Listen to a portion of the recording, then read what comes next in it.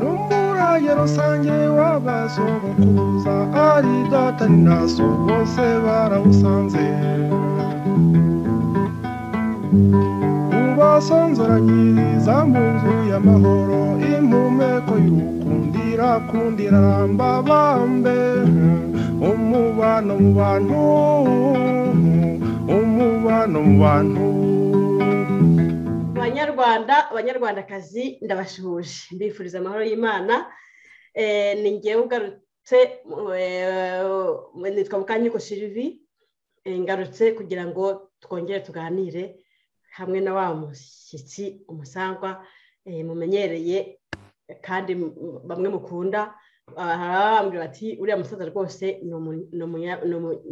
arakenewe muri sosiyete nyarwanda ni mwarimu mwiza agira ibitekerezo byiza kandi ntarya iminwa.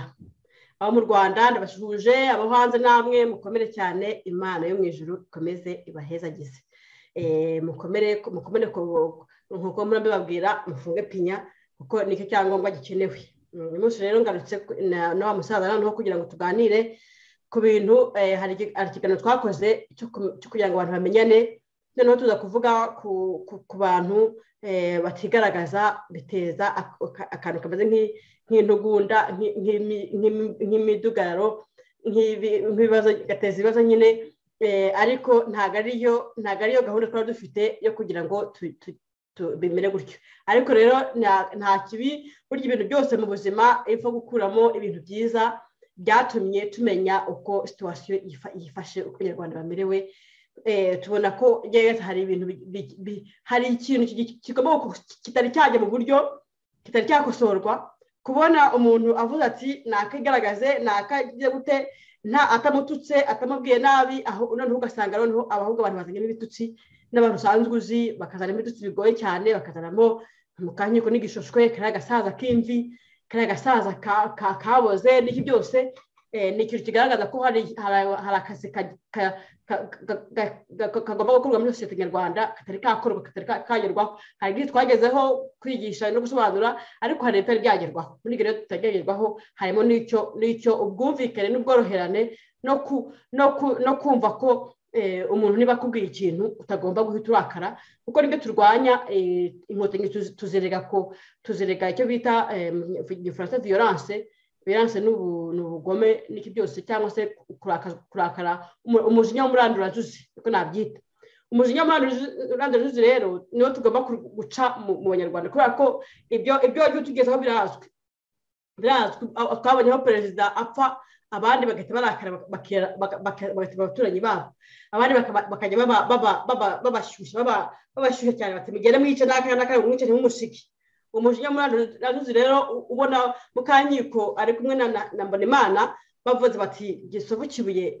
Igaragaza turebe tu- tu- dushaka kumenya kuvugira ibintu uvuga ni byiza cyangwa se ibyo ugomba gukosora. Vugira ahagaragara agahita akora ikiganiro avuga ati mukanyiko n'igishishwe mukanyiko n'ibiki n'ibiki Eh, ibyo bintu rero ni byo dushaka kugira ngo tuganire muri aka kanya wenda mu kiganiro kitari bube kirekire ariko eh, nagira ngo mm, muhe ijambo hanyuma rero agire icyo abitubwiraho Ye, ndagushimiye. Mukankiko kandi ndagusuhuje nsuhuje abanyarwanda bose eh, nsuhuje n'abumva ururimi rwacu rw'u rwanda ariko kubera yuko barwize cyangwa se bavuga urwa- urwabo bakavuga ikirere rwenda gusa nako rusa n'urwacu hanyuma rero eh, ndagushimiye kubera yuko kugira ngo icumu rikurwa n'irindi ariko hano si urugamba rwo guterana amacumu ahubwo ni imvugo ishushanyije. Iyo tuvuze iki n'iki twifuza tuba twifuza ko ikintu cyagenda neza ni mu nyungu zacu twese mu buryo bwo guharanira ubusugire bw'abanyarwanda. Mu buryo bwo kugira ngo iyi mibiri dutuyemo ababyeyi bacu nyagasani yakoresheje kugira ngo tuyi- tu- tuyironye tuyibemo noneho tuyibane tuyibanemo tutagomba kujya gutemagurana. Ibyo rero byo wavuze biratangaje kubona umuntu bamubwira bati umubiri utuyemo kuki utavuga bawureba? Noneho ugasanga nka gisovu kivuye yaravuze ngo ngo we avugira kuri radiyo akanajya hirya akavuga ngo ni radiyo muhabura. Ngo ntabwo bigaragazaga ngo ntituvuge abantu bakora kuri radiyo rwanda. Ngo ngo turabazi ngo mbese ngo ni bangahe ngo se ngo turabazi? Ndabivuga ntasubiramo uko yabivuze ariko yabivugaga gutyo ndagira ngo mubwire ko radiyo ni radiyo ariko we iyo yavuze radiyo ye amenye ko hariho kariya kanyuguti ngo ni tevi tevi bivuga televiziyo tere bivuga kure tere bivuga kure televiziyo ni ukurebera ikintu cya kure. Rwose rero gisovu kibuye ibyo uvuze ntugashake kwitsinda ngo nuvuge utange urufarigiro ntabwo ari byo ubona gisovu kibuye ubona ko hariya kuri kigali tivi reka ako kantu ubona tukavuga tivi reka ngufashe ngufashe mbabarira ngo nta kibazo. Kosa ari ugusangira tivi radiyo radiyo ni ukumva ntabwo ari ibintu ni ukumvisha amatwi. Iyo ubigize tivi rero iyo ubigize radiyo tivi ni ukuvuga ko rimwe na rimwe ushobora kubikora agasohoka amajwi ubundi amashusho akagaragara. Tivi rero ni isakazamashusho. Ni isakazamashusho. Radiyo ni isakazamajwi akenshi rinajyana n'amajwi. Radiyo tivi radiyo radiyo tivi ni ukuvuga tere tere ni kure. Telekomande ni ikintu ushobora gukoresha. Tere ni cyo bishobora kuvuga urebera kure kwa. Urabona televiziyo ashobora kuba ari i kigali undi akamurebera akamureba ari mu ruhengeri ibyo ni byo tere noneho rero viziyo viziyo ni amaso kwa viziyo. Ni amaso bivuga kureba kureba. Ubwo rero niba gisobu kibi yavuze ati ni gisobu kibi radiyo tivi gisobu kibi tivi ni ukuvuga ko ubundi twagombye kumureba. Cyangwa se tivi azayikuraho avuge gisobu kibi radiyo abanyarwanda bagomba gusobanukirwa n'ibintu nabo dukurikira buhumyi ngo twumve ko umuntu afata ikintu agituraho narangiza ntabwo turi bukire n'abafana. Kumukira se oya oya umuntu akira ikintu niba abyise tivi agomba kumubona kubona amashusho. Ariya mavidewo agenda ashyiraho ntabwo ntabwo ari ntabwo ari aye agomba kwicaraho tukamureba radiyo tivi erega niyo yabigumishaho kandi azabigumishaho ni uburenganzira bwe. Ariko ngewe icyo nshaka kubwira gisovu rwose ntuje. Ese gisovu ntabwo ujya ubona bbc gahuza miryango si radiyo se ese ubona abo tutabareba? Ese ubwo arahakana rwose hakana wo gahuza miryango tutayibareba bariya abantu. Uretse gusa ko bitameze nka kuko radiyo aravuga yarangiza akagira atya akantu. Avuga ngo ntibashyiraho cyangwa ntibahindure burya abavugisha bariya bo mu buhanga bw'ibyuma. Urumva? Ntabwo abakora kuri televiziyo bakora kuriya ariko nk'uko wavuze niba nta mese kamwe avuga ati ni radiyo gusa. Noneho avuga ati ngewe nta mashusho ahari. Ariko kuki ashyiraho videwo yarangiza akavuga ngo si televiziyo. Ariko kindi ni byakwitwa uko byakwitwa ngewe singiye no kujya gutinda kuzarira mu bufundi bwo kuvuga ngo televiziyo ngo niki ngo radiyo niki ibyo rwose ababizi bazakomeza babisobanurire nawe azakomeza abisobanurira abashaka gusobanurira ariko ntabwo ikibazo cyari kiri nuko atagaragara. Kandi n'izina rye bwite ntabwo turizi. Gisovu kibuye witwa nde? Iwanyu ni he? Ufite imyaka ingahe? Rwose ashobora kuvuga ati ko yiha kuvugisha imbaga y'abantu kuriya nanjye gisovu kibuye umenye ko ndi umuntu uwukurikirana cyane ariko nageze aho ndarambirwa ndavuga uyu muntu ukindi gisovu kibuye uragira ngo ngewe nitwe rukara kibungo kibungo rukara niko nitwa niko ushaka kumvuga yenzi yitwa mara nakora televiziyo yitwa mara rutobwe wavuze ukavuga uti nitwe n'uyu ndi uwo kwa kana data kwa kana akayihorere buri wese uko ariko nibura avuga izina ryawe ryanditse. Ese wavutse igihe ki? Ese wavutse mu ntambara? Ese wavutse nyuma y'intambara? Ese mu ntambara yabaye ufite imyaka cumi n'ingahe cyangwa makumyabiri n'ingahe cyangwa mirongo itatu? Uri uwahe uri iki? Usute. urumva? Yewe icyo nshaka kuvuga umuntu ufashe umwanya wo gufatira ijambo ari umunyapolitiki. Kuko uriya gisovukiwe ntavuge si umunyamakuru. Si umunyapolitiki. Uri umunyamakuru uri umunyapolitiki uri iki? Uri umukangurambaga? Uri iki? Ukorera leta ikorera mu buhungiro? Iriya naho imana ntagara ba- ba- bagize isoni zo kugira ngo ibyo bavuga noneho babikunyuzeho ugende ubibavugire. Rwose kibuye ngewe ni cyo ngicyo mvuga mpfa nawe. Ni uko wowe wirengagiza icy'ingenzi noneho ugashaka ko twebwe tuzakomeza kwiruka mu bintu bya kuko hari ikiganiro duherutse gukora tuvuga ko politiki twe turi abanya ngenda umunyapolitiki kandi ndashaka ko politiki yo gukorwa ubu ni politiki y'ibikorwa. Kandi nawe niko ntekereza ko ubyifuza. Wamishe kamwe ukavuga uti ndi umunyapolitiki. Urumva? Cyangwa se ndi umunyamakuru waba uri umunyapolitiki nawe ukigaragaza. Cyangwa utakwigaragaza ukavuga uti nitwa cyangwa se uti ndi umunyamategeko nka share kambanda. Uti ndi share kambanda. Ariko bakavuga bati share kambanda turamuzi. Umuntu yitwa john john. John john rero icyo gihe bene ibyo ngibyo ni biriya by'amazina y'abanyoni bakunda kwi- kwiyita nduyu n'uyu nduyu n'uyu nduyu n'uyu. Ndi ma- Yeah. naba na nuza na mugisha yaravuze ati ndi major frank mugisha. Urumva? Ati ni frank mugisha. Nibura ukumva ni n'izina ry'ikinyarwanda mugisha wese witwa ndi gisufu. Ni John John.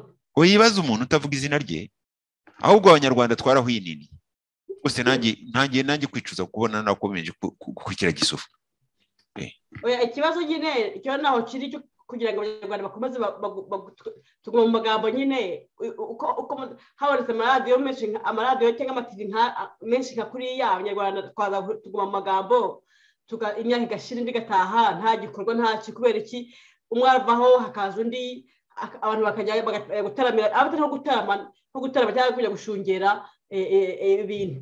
Nta gikorwa yashobora gukora nta gikorwa yashobora gukora ngo ki- kigaragara uretse kuvuga gusa. Kandi abanyarwanda ubu dukeneye ibikorwa ntabwo dukeneye amagambo. Gisovu noneho ara- ararakara wenda cyangwa se azakora ibiganiro nawe rwose nta kibazo azakora icumi. Ariko abanyarwanda dukeneye amagambo. Ikindi ngewe na- na- navuze wenda dukeneye ibikorwa eh wovuga dukeneye ibikorwa. dukeneye ibikorwa. Eh, iruhande rw'amagambo eh. Ikindi wenda wavugaho ni kiriya cy'ukuntu icyo navuze cy'uko abanyarwanda eh, uriya uriya mujinya bazana uriya mushiha ubona ute? Ukurikije ko ibyo twavukiyemo n'imyaka ishize tubi- tu- tubibamo. Ni ukubera yuko burya umuntu aba afite ikintu amenyereye gufungura nk'amafunguro. Umuntu ugasanga ugiye nko mu bushinwa cyangwa muri biriya bihugu bya tayilande byaki usanga amafunguro yabo menshi ari umuceri. Rwose bakunda kurya umuceri cyane. Mhm. Eh, bakunda kurya umuceri cyane. Inama burayi wabonye ko ibiryo byabo barabirya ariko umufaransa ntiyarya adafite umugati. Bakunda umugati. Urumva? Hano ni ibirayi gusa ni ibirayi barya gusa. Eh, ibintu byose babirisha ibirayi. Wabyumvise? Mhm. iwacu hariya mu buganza rwose igihe mpahirukira twabaga ariko n'ibishyimbo. Rwose iwacu aho uretse igihe hari igihe twabaga tudafite ibishyimbo nko muri gashogoro mu kwezi kwa kane kwa gatanu kwa gatanu gutyo gutyo biterwa n'igihe n'urugo ukuntu rwabaga rumeze cyangwa mu kwa cumi na kumwe. Ariko akenshi wasanga hari n'abantu bavuga ati niyo naba naguze inyama ntabonye ibishyimbo mba ntariye. Urumva? Pe akavuga gutyo. Ii. Abantu ni rero nka buri- mama- ma- mwa mama ntiyashobora kurya ubugari adashyizemo ifu y'amasaka? Ngaho ntabwo ubyumva ntabwo yashobora ku- uko Eh. twari twarabigize akamenyero ko niba dusekuye turi gusekura n'amasaka. Eh, nuko bimeze. Kandi bakabidushyiramo agahato twe twabaga twishakira bitari mu masaka. Eh. ariko n'ubu hano ndi mu burayi iyo nagwanyije akantu rwose nanjye ubugari nshyiramo ifu y'amasaka. Eh, abana cyokora bo mu rugo ntibabukunda ariko ngewe ndakunda nka- nkabushyira nka- nka- nkaba nzi ko ako kantu kaba kari aho ku- ku- kubera ko ariko ngewe? Eh. Eh, bityo bityo icyo nshaka kuvuga rero abanyarwanda bafite ibintu barereshejwe bamwe no muri iki gihe turimo tugomba no kumenya gusaza tutanduranyije cyane. Nkanjye rwose igisovu kigoye ntugira ngo nyewe eh, nubwo bamwe bavuga ngo icyo gisaza ngo kimeze gutya bavuga ibi n'ibi ngo agasaza ni iki? Rwose ngewe ikintu nshaka kuvuga uwo muntu uvuga ko ari umusaza ubwo ni ukuvuga ko atari umusaza. Bya mbere. Umu- iba rero umuntu uvuga ngo uriya ni umusaza ngo gusaza ni ubusembwa ngewe mbwiye abo bantu ntabwo igisovu kigoye nabyumvanye. Ni abantu bo muri za komenti hariya. N'abandi bajya babivuga. Umusaza ni umuntu ikibi na rugamba yaravuze ngo jya umenya gusaza utangiranyije cyane. Ariko ngiye kongeraho ngo jya umenya gusore kutanduranyije cyane wa musore we. Urumva? Wimenyereze kugira ngo uzasaze utanduranyije. Ngewe mbona gusaza atari ubusembwa. Ahubwo ubusembwa wowe ni ukwanduranya umuntu rongewe watinyuka kuvuga ibintu ngo ni umusaza ni umusaza. Ntabwo ngiye mpamya ko umuntu ushaje yajya kugira ikimwaro. Ahubwo ngiye mbona umusaza umuntu useka umuntu ngo arashaje aba akwiye kugira ikimwaro akagira isoni akavuga ati ariko ngewe nderekeza he ese nzagera hariya mere mbona imana uriya nshaka gusuzugura. Ese nzagera hariya meze nka we? Ese ko yahageze? Ni iki namubaza ko wumvaga ka karimbo k'impara avuga ati wifuriza abakiri bato kugera aho ugeze. Genda wa musore ushaka kuvuga niba ari umusore wabibyanditse niba ari umusaza wataye umutwe uvuga ko umusaza nkanjye nkawe asuzuguritse. Rwose abantu dushaje turifuriza abantu batoya kugira ngo bazakure barambe noneho akamenyero k'ubuzima babonye bazakomeze bagasangiza abantu rwose burya urungano urubyiruko baba bakeneye abantu bakuru babereka ibintu babonye noneho kugira ngo ibyabagoye batazabi ni nka biriya byo mu gifaransa bavuga ngo si la jeunesse save et si la vieillesse pouvait. Bavuga bati iyo aba basore bari bazi ibintu ukuntu babikorwa. Ati kandi n'abasaza bicuza yuko nta kabaraga bagifite kugira ngo ubwenge bafite babukoreshe ariko ngewe ibyo byombi nabihuza yuko urubyiruko iyo rugize amahirwe rumenya ibintu byo kwitwara neza abantu bakuru baba barabashije kugeraho bakamenya. Iyo rero umuntu amenye ibintu umusaza yagezeho kuko hari ibintu nk'ubu nzi bitaturutse ku bandi bantu ahubwo narabyiboneye. Icyo gihe rero umuntu w'umusaza w'umusore yabibonye agira intera nyinshi ku buryo azajya gusaza akazakungahaza abandi b'urungano cyangwa n'abandi batari urungano rwe rero ni cyo mvuga ko rwose gusaza ntawe nigingira ngo aza nta n'uwo nsaba ngo ntazongere kunyita ngewe ndi umusaza ariko ntabwo ndi agasaza. Agasaza ni imvugo nsuzuguza igisaza ni imvugo nsuzuguza. Imisatsi y'imvi ni imisatsi y'imvi kuko iyo ni impinduka. Ngewe uyu mubiri ntuyemo nawutuyemo kera ntabwo nari mfite imisatsi isa gutyo. Ariko ngewe numva ntarahindutse imbere. Ngende mbona imana wakomeje gutura muri uyu mubiri. Bavuga rero ko ubundi iyo umuntu ashaje umubiri ntibakagudutera ubwoba ugomba gusaza uvuga uti ndi mwiza uri mwiza uri mwiza uri mwiza. Waba rero niba bavuga urahirwa uri mwiza nka jambo uri mwiza nka jambo. Urumva uri mwiza uri mwiza nka nyagasani. Ahubwo uko umuntu agenda akura uko akura wa muntu wawe ukurimo imbere? Ni we ugenda arushaho kuryoha arugeraho kuryoha arushaho kuba mwiza arushaho kumenya ibintu arushaho gusobanukirwa wowe umubiri urasaza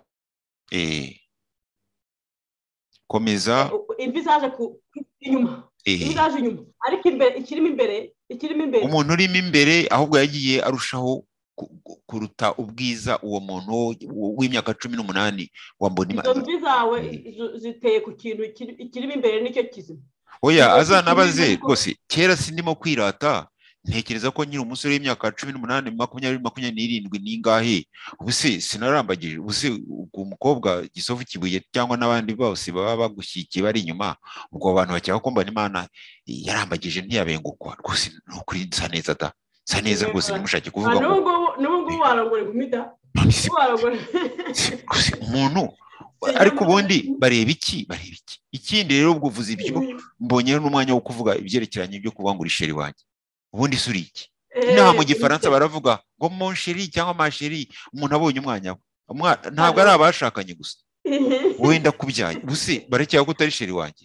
Ahubwo barakoze. Mu cyangwa si sheri wanjye. Kuko ndamukunda nawe arankunda. Nubwo tutarabonana ku mubiri ngo duhoberane ariko ngewe nzi ko amfata nk'umubyeyi umukuriye urumva? Abo rero bavana umusheri wanjye niba uri umusheri wanjye niba batekereza ibindi rwose ibyo barakora barakora iruhande ntabwo ari byo rwose ntaho bihuriye. Abantu mbere yo kugira ngo abantu batangire ikiganiro baba baje kuvugana ikiganiro bagategura ntabwo bagitegura n'umuntu udakunda utari sheri wawe ntabwo byakunda. Kandi hari n'ikindi. Ufite ubuzima bwawe wihariye ufite ubuzima bwanjye nihariye. Binabaye impamvu. Iyi myaka mfite. N'iyo ufite nshobora no kuba mfite imyaka mirongo inani. Hashyingiranwa n'umuntu mbengutse afite imyaka mirongo cyangwa mirongo itatu. Ikibazo kiri hehe none se ikibazo kiri hehe niyo naba mbengutse mukankiko akambenguka noneho tukabana. Ibyo birabareba. Ibyo birareba mbere mu biganiro kera abanyarwanda. Kubera kwibazwa igitugu dufite ikintu cyo cyo ku cyo kutiyizera kandi uti- iyo utiyizeye ushaka kwivanga no mu buzima bw'undi muntu Eh. ugatinya icyo bagombaga kuvuga? Kikureba cyavuzwe nk'ubu bakananirwa kuvuga ibyo twabajije tuvuga biriya byo kwiyerekana. Ati reka dutangire tuyobye uburari tuvuge ko ari abantu bikundanira bya kigabo na Eh. kigori. Eh, ariko byo binabaye birabarebaho iki ko ari tuba twashimanye. Ni byo rwose babona umuntu atangiye gukorana n'undi mbere baravuga ngo ni ikirara cya nahimana. Ah. rwose tugitangira gukorana rwose tutari twaragira na byaherewe ku witwa ibyo silivesitiri ni amagambo eh, baba birata yabona yabona wenda hari ikintu ushaka kugeraho hari ikintu u- u- umurushije wenda hari intambwe uteye irusha irusha irushije iyo iye agatangira gushaka ikintu kigusenya kwa Uyu, hari n'ikindi abantu bakubonaho bakakwibeshyaho wowe kandi si no kukwibeshyaho wowe rwose iyo tuvugana niyo uvugana n'abantu mbona uvuga useka uvugana ubwuzu none se ubwo umuntu azagusekera uzajya rwose wa muntu we ushyigikiye gisovu kibuye mu mafuti. Uzajya mu iduka no hari filime twabonye ari teyatere y'ikinamico mu rwanda bavugaga imari ya shuri umukobwa yahuye n'umuhungu mu- hanze aramubwira ati se ko tuhuye utansekera ati rwose ati se hanyuma ati rwose nanjye ndagukunda. Ati se biti umukobwa aramubwira ati se gute?" ati ni ibiki ati ni ibiki urimo ati se ko mbona unsekera? Ati iyo ngiye mu iduka unsekera. Ndatari kusi ati buriya iyo turi mu iduka mba nseka ndi ku kazi mba ngira ngo ibyish- byashara byinjire. Urumva? urumva? Hari no kwibeshya gutyo. Ariko mpamya ko iyo tuganira nkabona umvugisha ubwuzu ababisomamo kundi birabareba rwose. Kumva byaba ari na byo ntacyo bi- bikurebaho mukanyiko na mbonimana kandi mbonimana uko ariho iwe urugo rwe nuko ariho nuko ari ameze. Ubuzima bwe niba ubuhuza yuko yashatse uh, mukanyiko bakaba babana bya kigabo na kigore. Nabyo ni ibyabo nibo bireba. Ni nka biriya nyina ngiye kurangirizaho buno ni nka biriya ba- batakaza umurongo abantu babura icyo bavuga ya perezida wa repubulika aho banenze poli- politiki ugasanga barajya kuvuga ngo ntakiri ku isi. Urumva? Urumva? Ubu- ubu- ubuswa ubu- aho buri. Hari n'ikindi ba- bavuga bati ngo nyiramonyi ngo yabyaranye na naka ngo Eh, ibyo birabareba ariko. ngo hari abatangiye nyine ibyo ibyo rwose ni n'ibintu bita nyiramongi ni umuntu ufite ubuzima bwe ni bya bindi navugaga. Uravuka ukavukana ubuzima bwa umubiri bakawu- bakawuguha ukawuturamo. Intuza urugendo umuntu yakoze mu buzima bwe ntabwo bikureba. Ahubwo reba uti nyiramongi ni umu- ni umu- ni umu- ni umufasha wa perezida uriho mu rwanda. Nta kindi iyo mureba mureba niyo ndeba gutya mu maso ye nta kindi ndeba mu nyiramongi. Urumva? Wenda ushaka kumusenya ku- wenda kwereka ipara nshaka kugira ngo umusenye ushobora kubivuga nanjye wenda ushaka kumusenya. Ubwo rero ni ukuvuga ko natwe iyo- binjiye mu buzima bwanjye bwite baba bashaka ngo- birashoboka se. Ese Nyiramongi yabaye iki? kuko nyiramongi ntacyo yabaye. Oya mbwira buriya ubona iyo umubonye rwose yasohotse akaberwa akambara buriya rwose. Kandi ndabivuga bamwe na bamwe kintu eh ukorera kigali ukorera kigali. byamukoraho kubera ko uwazi icyo akeneye ariko natwe nyine nk'abagomba kumu- kumunenga turamunenga. Ariko eh, eh, ukanenga ubuzima bwe bwa politiki ibyo akora bya politiki urumva? Ariko mukanyiko mbona imana ni iki? Ibyo rwose nagira ngo mbivuge mvuga nti nyamuneka urubyiruko ma- majigija abasore abantu bakuze nimureke kujya kujya kwandagaza umuntu ku giti cye? Akenshi munabeshya kandi n'ibyo muvuze nta naho bishingiye nabamariye ndababwiye nti binabaye impamvu nkaba nkundana na mukanyiko twaranashyingiranywe cyangwa turimo turi abafiyanse tuzashyingirwa ntacyo bibarebaho. Urumva? Ntacyo bibarebaho. Dufite ubuzima bwacu buri wese afite ubuzima bwe. Kuba dushimana ntacyo bitwaye kuko ahubwo ni na byo twifuriza abanyapolitiki bose kugira ngo ababishoboye. Niyo umunyapolitiki yaba avuga ibintu udashoboye. Ukaba nk'ubu ndi umwopoza w'ubutegetsi buri mu rwanda. Ariko ntabwo ndi umuntu usenya ubutegetsi bw'u rwanda. Nta nubwo ndi umuntu usenya abategetsi b'u rwanda.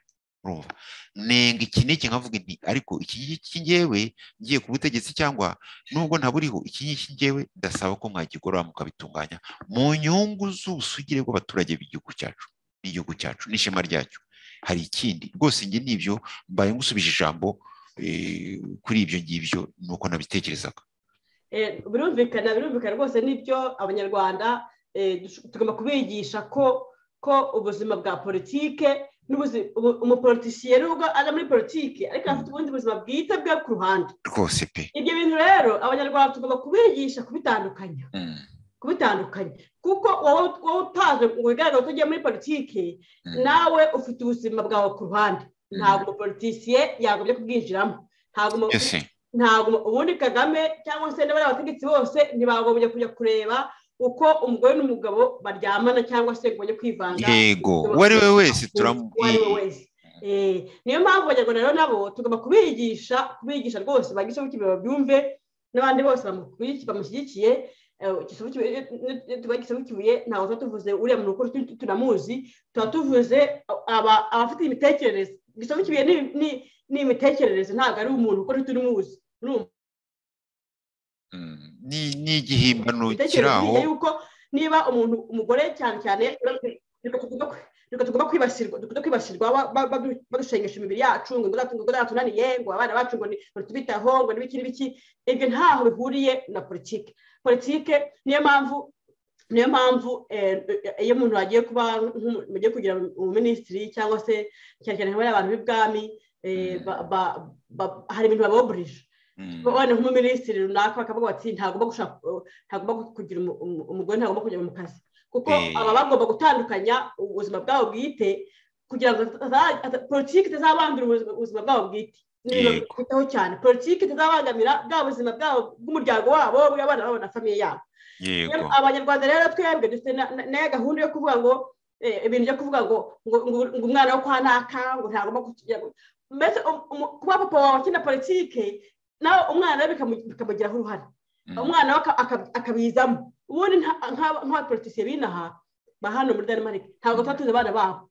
Kuko iyo yabishatse akamuzana cyangwa se umwana wenda arinterese umwana abishatse akazana se wenda umusore yabaye bakazana ariko ntabwo tumenye abana babo. Ariko abanyafurika kubera icyo kintu nyine cyo kwinjira muri mu buzima bwite bw'umuntu umuntu agomba kumenya abana bo kwanaka akamenya ibyo biga akamenya ibyo bambara akamenya ibyo barya akamenya ibyo abana ba kagame batunze amafaranga angahe. Biriya ni ibintu rero tugomba kwigisha abanyarwanda bagomba kureka.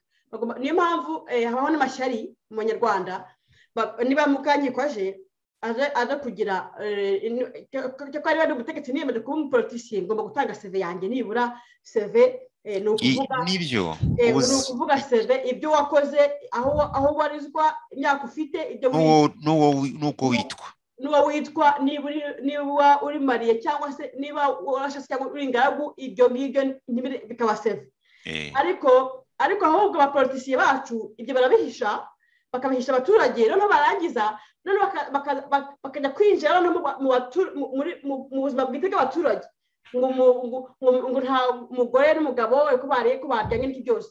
Ubwo rero niyo mbwiye bukibiye nti nakomeza kubivuga kenshi cyane mbibwira bariya abapolitisiye abayita abaminisitiri abaminisitiri bari muri guverinoma y'ubuhungiro ni bandi tubabona muri zubu gusa ntawe uzi ngo uyu ninde ngo ava he ajya he agire gute azi iki ashoboye iki agize gute sibyo aho abantu ugasanga gisamo kibuye kuvugira ya guverinoma arinjira muri vi pirive yanjye ngo ngo ngo yusheri ngo ni oya reka nkubwire biriya wabonye ko n'aho imana yabiretse tukikuvuga mu masengesho. yashyiragaho amasengesho akaba ari bwo avuga. Hari ubwo yigeze kuvuga ngo uramusiga amase. Ubundi ni bwo yavuze ngo uri inkoko ngo amase uribaza akabivuga yambaye ruriya rukoba rw'abasaserdoti ngewe ruriya rukoba ndi kiliziya gatolika nta rumwaka rwose. Nta rumwaka nkamubwira inaha imana zana urwo rukoba urushyire hariya abo baruguhaye bariya ntibakabanavuge ngo isakaramento ry'ubusaserdoti ngo ntabwo rihanagurika. Buriya nta n'ubwo ryamugiyeho. Iyo umuntu akora biriya bintu ari umusaserdoti agatakaza icyizere cyo ugasanga ariruka inyuma y'amafaranga gusa. N'ibi byo kujya mu itangazamakuru gusa yirirwa aho ngaho ari cyo akora ari cyo akora. Cyane cyane akaba akora ibintu byinshi hari ibintu rwose ashoboye ashoboye na yo imana uwa mu mwanya nabivuga cyangwa na yo njye mwihaye. Ariko iyo tuvuze duti na yo imana biriya bintu udakora neza ntabwo bigomba kuvuga ko agomba kuvuga ngo nk'abo ngabo bari bari muri komatiri bakavuga ngo mukanyiko ngo yavuye muri hariya ngo arasenya leta ngo ari na eh bakuvuzeho byinshi bavuga ibintu nka biriya ariko njye ikintu ushaka kubibutsa. Ko bavuze ko bavuze ngo ngo ngo ba- ngo mwana ntabwo bahimba nyine ngo nta gifaransa uzi. Buriya se bazi igifaransa? Ariko ubu ni ngenda baza niba bazi igifaransa? Igifaransa ni ikinyarwanda ni cyo leta ikorera mu buhungiro yashinzwe. Ubu ikibazo cy'abanyarwanda bafite yaba bashakaga abantu abanyarwanda bazi igifaransa ubu twari kuba ibibazo bitarashize. Ko nzi Eh, igifaransa byarashize. ubu?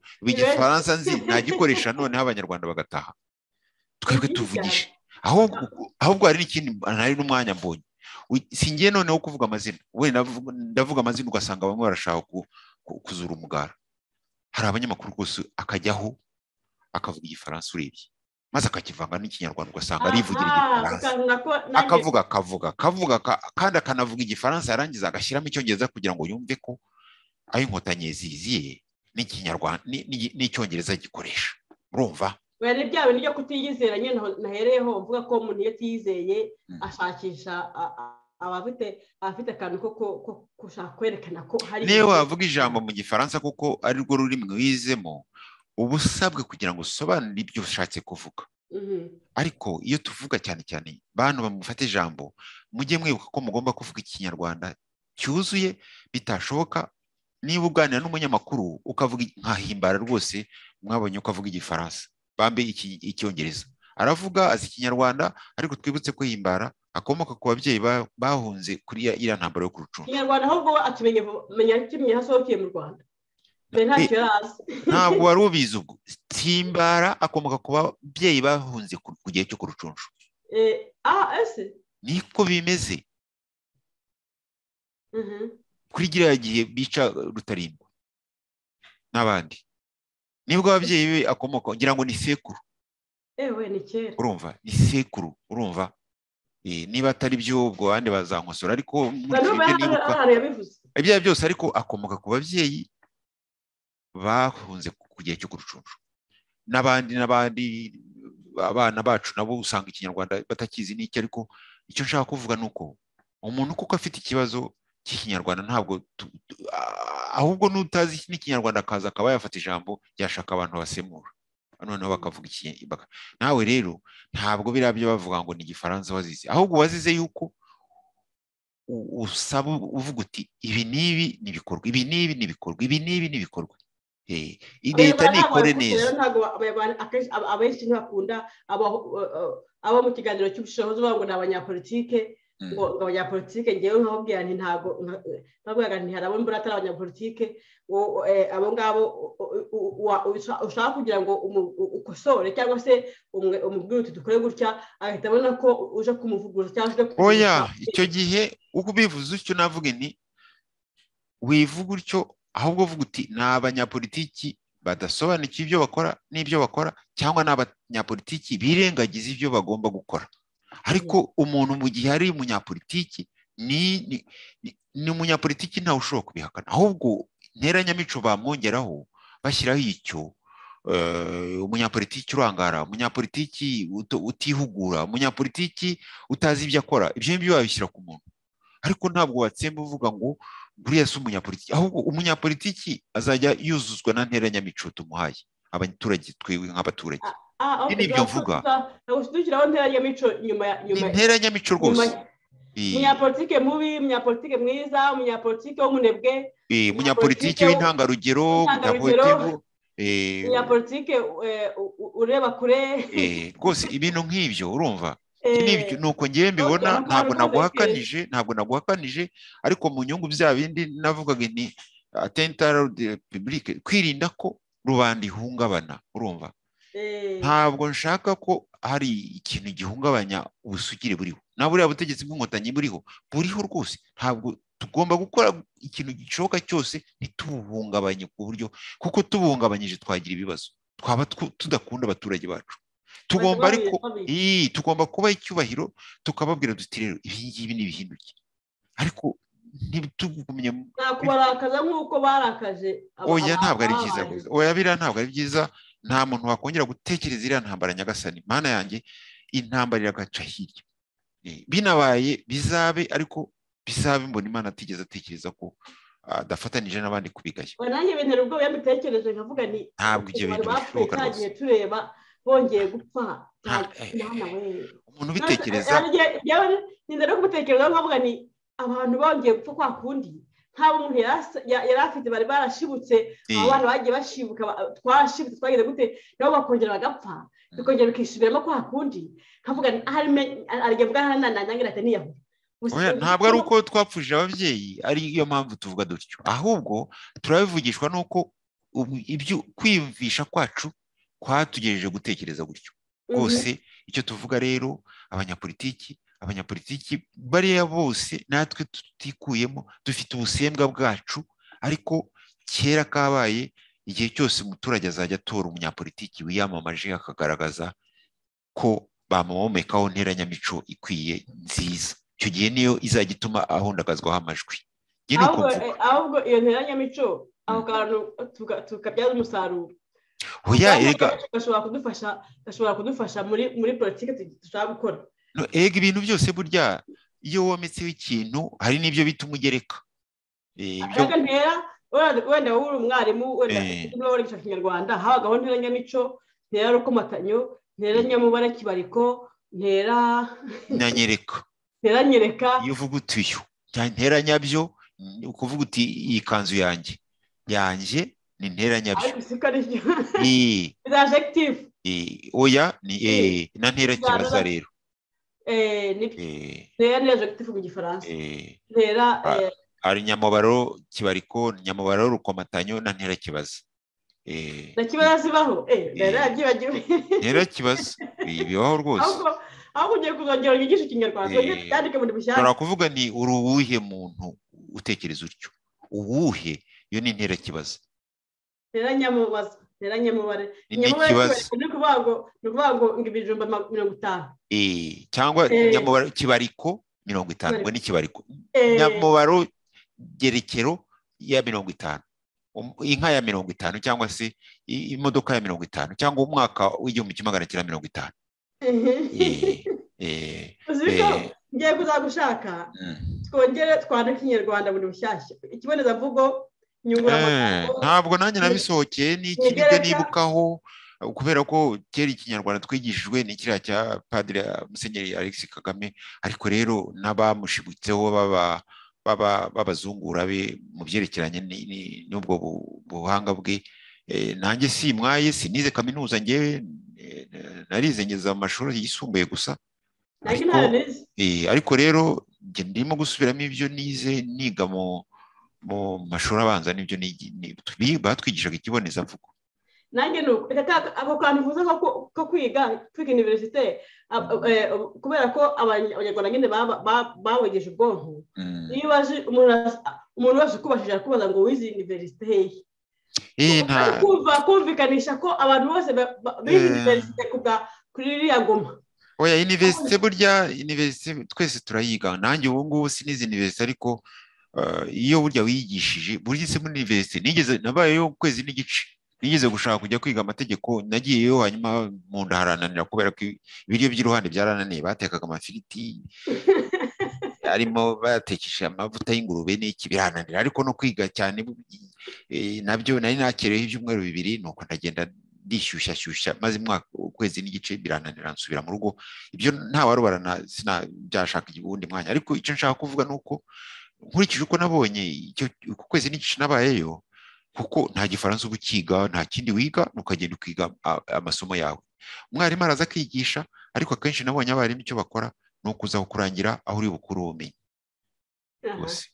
Cyokora uko ugasobanura. Ubwo rero nyine kwa kutize ikinyarwanda cyaracitse niyo mpamvu nyine basigaye banagifite n'umushiha n'ibyo byose ngo ngo ntugomba kuvuga igifaransa ngo bamenye ikinyarwanda ngo kuba ikinyarwanda bikagutera hari abahari hari abahari rwose bagira hari nk'umuntu njya mbona witwa mureme atuye agomba kuba aba hano mu bufaransa hafi ahitwa ruwa sinzi icyo kuhakora n'iki ariko nabonye ari umuntu w'intiti rwose uzi ubwenge cyane uzi ikinyarwanda. N'abandi benshi n'abandi benshi rwose bagiye bahari b'abanyarwanda.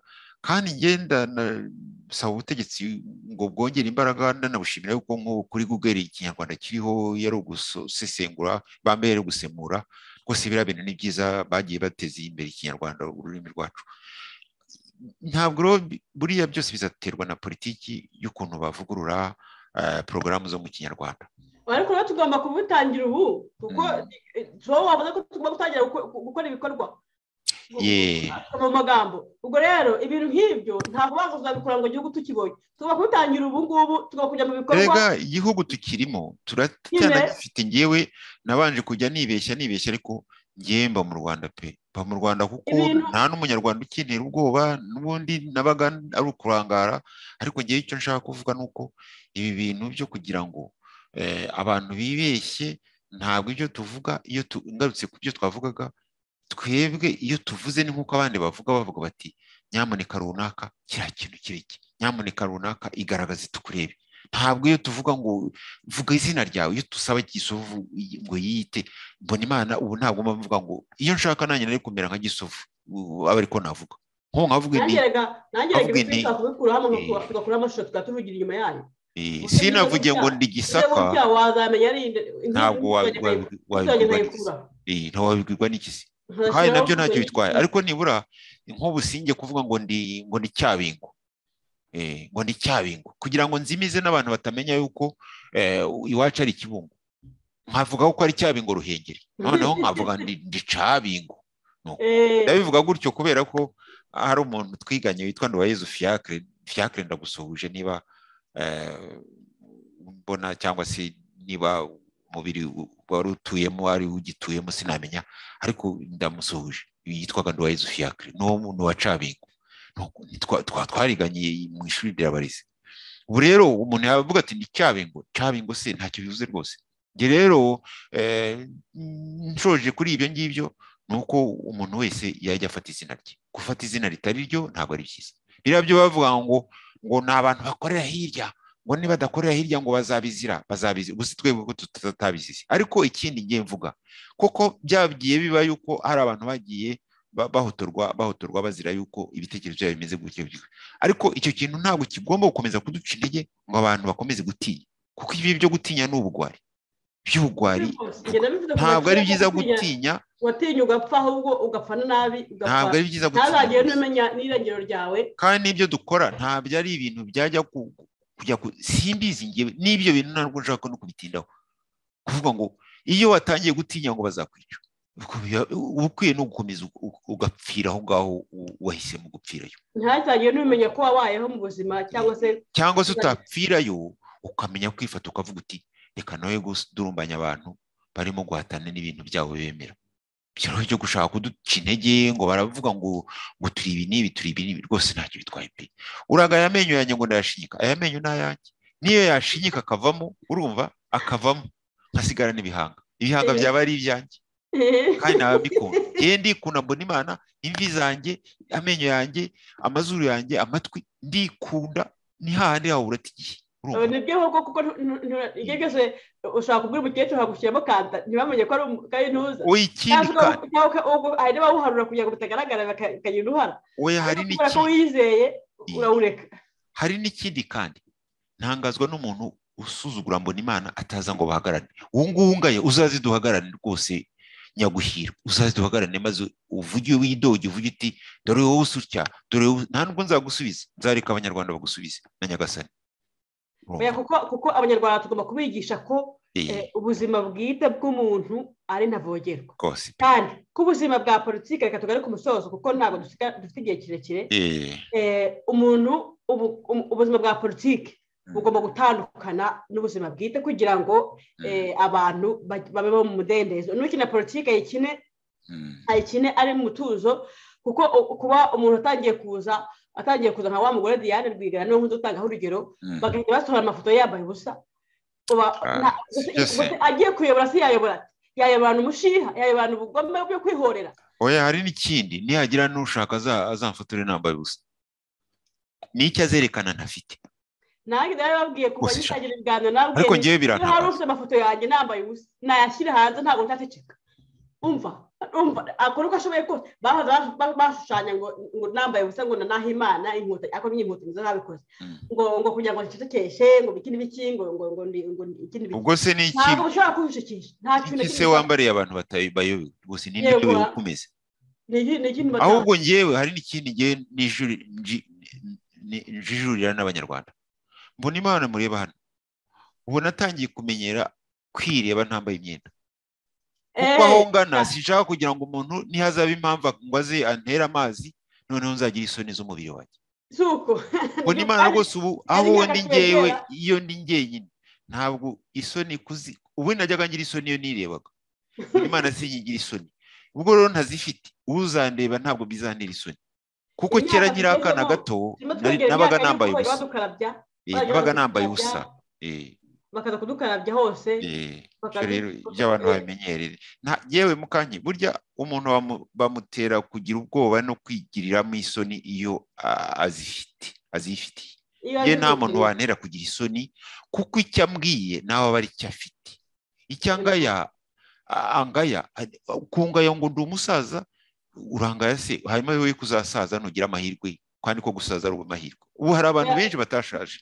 Niyo umuntu yamaze kwisobanukirwa na politiki yayishobora akabasha no kuyobora abandi. Kuko ntabwo waba umuyobozi igihe utari wisobanukirwa nawe ubwawe cyangwa se ngo ngo ngo kuko ni ho bakubwira bati ni ho bakubwira bati kiriya kiyobozi ni igicucu. Ugahita wumva ko hari ibyo ugahita utangira kurwana ugira ngo ututukane abanyarwanda reka rero tugane ku musozo wavuga akajambo kihuse akajambo kihuse gusoza ngenda soza mvuga nti banyarwanda banyarwandakazi politiki ni ubugenge ni ubugiro bwo kuyobora abantu. Kandi politiki n'inyamaswa zirayigira. Ntabwo ushobora kuba uri inyoni iba mu ruhuri ngo ubashe kubamo utazi uko bikorwa. Ntabwo waba urutozi ngo ube mu kiguri cy'intozi utazi uko ntabwo waba uri upfe kuba mu muzingo utazi uko umuzingo uyoborwa. Ntabwo waba isumba y'inzovu ngo uzabashe kubana n'inzovu z'ingore zene wanyu. Utazi politiki y'inzovu uko ikorwa. Urumva? Abantu rero natwe tubana hagati yacu abantu bose bagomba gukora ibyihuta byose kugira ngo basobanukirwe no kuyobora abandi. Abanyapolitiki rero ni byo twiyemeje. Politiki rero ni nziza kandi ni mbi ikozwe nabi cyangwa neza cyangwa nabi. Ariyo mpamvu uvuga ngo politiki tuvuga politiki igenda neza iyo habaye demokarasi. Demokarasi bivuga ububasha butangwa n'abaturage. Bukorera abaturage kandi buhabwa butangwa bugakorera abaturage kandi sinzi ikindi cya gatatu. Ariko rero ibyo byose iyo demokarasi rero turimo kwitoza niyo tuba tugira ngo tuvuge hano mu biganiro. Iyo rero uvuze ikintu kidashobotse ni bwo wumva ngo abandi batangiye baza bashinyika imikaka bagira ngo bajye kugucecekesha. Ibi bintu rero aba bantu barimo kuzana bavuga ngo batanze komanteri izi n'izi ngo bagiye gushyigikira gisovu yabo ngo bagiye gushyigikira n'ay'imana nk'aho natwe tutigeze dushyigikira ibintu byiza ntacyo bizageraho. Ntacyo bizageraho rwose. Murakoze cyane abanyarwanda abanyarwandakazi imana yo mu ijoro ikomeze iturinde neza kugeza igihe tuzagarukira tukabaganiriza ku zindi ngingo zitandukanye ariko tuganira tuganisha ku bikorwa kuko ubu ngubu ni umwanya w'ibikorwa. Murakoze cyane murakarama. Kandi wuje urukundo kandi wuje umurava ukagira amahoro umunywanyi wa hafi. Gutabarana no gufatanya niwo soko y'ubumwe bubonereye abantu bambe umubano mu bantu umubano mu bantu.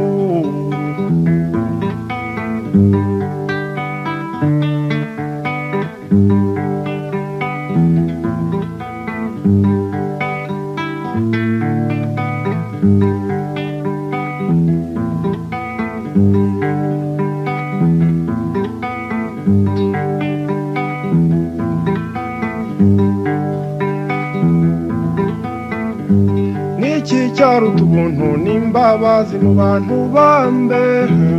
Umubano mu bantu umubano mu bantu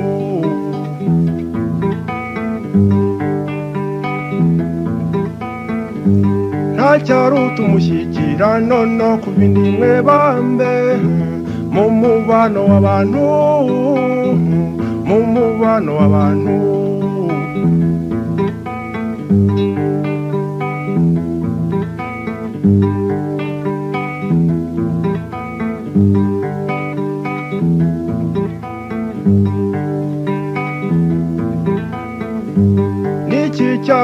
Gufatanya hakora ukuri bambe mu mubano w'abantu mu mubano w'abantu.